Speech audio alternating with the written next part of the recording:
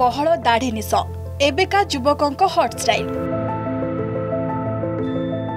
ଦାଢ଼ି ନିଶ ନଥିବା ମାଖୁନାଙ୍କୁ କୁଆଡ଼େ ଝିଅର ଶୁନାହାନ୍ତି ହେଲେ ଏଠି କଥା ଅଲଗା। ଏଠି ଦାଢ଼ି ନିଶ ଥିଲେ ଝିଅ ମିଳିବେନି।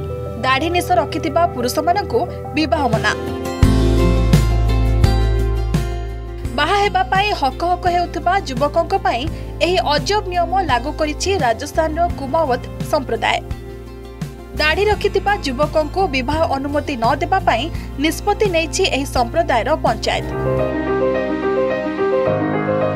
ପାଲି ଜିଲ୍ଲାର ଉଣେଇଶଟି ଗାଁରେ ଲାଗୁ କରାଯାଇଛି ଏହି ଦାଢ଼ି ନିଶ ବିରୋଧୀ ନିୟମ। କୁମାୱତ ସମ୍ପ୍ରଦାୟର ମୁଖିଆମାନଙ୍କ ମତରେ ବରମାନେ ଫ୍ୟାସନ ନାଁରେ ବାହାଘର ବେଳେ ଦାଢ଼ି ରଖୁଛନ୍ତି। ଏହା ପରମ୍ପରା ବିରୋଧୀ। ତେଣୁ ବିବାହ ବେଳେ କାହାକୁ ବି ଦାଢ଼ି ରଖିବାକୁ ଅନୁମତି ଦିଆଯିବ ନାହିଁ। ଏହି ସମ୍ପ୍ରଦାୟର ବିଶ୍ୱାସ ବିବାହ ଏକ ରାଜକୀୟ ସଂସ୍କାର। ଏହି ସମୟରେ ବର ରାଜା ଭଳି ଦେଖାଯିବା ଉଚିତ। ତେଣୁ ବରମାନେ ବାହାଘର ବେଳେ ଦାଢ଼ି ନିଶ ରଖିବା ଅନୁଚିତ ବୋଲି ଏହି ସମ୍ପ୍ରଦାୟର ମୁଖିଆ ଘୋଷଣା କରିଛନ୍ତି। ଖାଲି ସେତିକି ନୁହେଁ ଏହି ଉଣେଇଶଟି ଗାଁର ପଞ୍ଚାୟତ ବିବାହ ଉତ୍ସବକୁ ସାଧା ସିଧା ଭାବେ କରି ଖର୍ଚ୍ଚ କମାଇବା ପାଇଁ ନିଷ୍ପତ୍ତି ନିଆଯାଇଛି। ଡିଜେ ବାଜା ଓ ବରଯାତ୍ରୀଙ୍କ ନାଚ ଉପରେ ଲାଗିଛି କଡ଼ା କଟକଣା।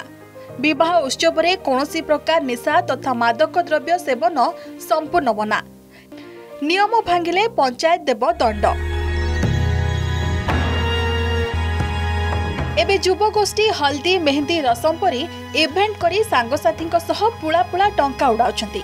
ସଙ୍ଗୀତ କାର୍ଯ୍ୟକ୍ରମ କେକ୍ କଟା ଆଦିରେ ଖର୍ଚ୍ଚ ହେଉଛି ଲକ୍ଷ ଲକ୍ଷ ଟଙ୍କା। ନିର୍ବନ୍ଧ ରିଙ୍ଗ ସେରିମନି ପାଇଁ ଟଙ୍କା ଉଡୁଛି। ଏସବୁ ଅଯଥା ଖର୍ଚ୍ଚ ବିରୋଧରେ କୁମାୱତ ସମ୍ପ୍ରଦାୟ ଲଗାଇଛି କଟକଣା। କନିଆ ପିନ୍ଧୁଥିବା ସୁନା ରୂପା ଗହଣାର ପରିମାଣକୁ ସୀମିତ କରାଯାଇଛି।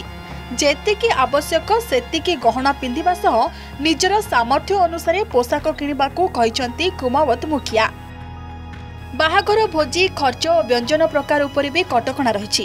କୁମାୱତ ସମ୍ପ୍ରଦାୟର ଏହି କଟକଣା ସମାଜ ପାଇଁ ଏକ ଆଦର୍ଶ ସୃଷ୍ଟି କରିଛି। ବିବାହ ଉତ୍ସବ ଅତ୍ୟନ୍ତ ଦାମୀ ଓ ବିଳାସପୂର୍ଣ୍ଣ ହୋଇଗଲାଣି।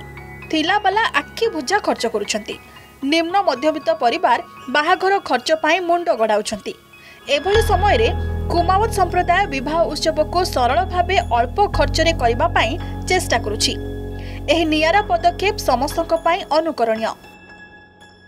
Bureau report Argus news.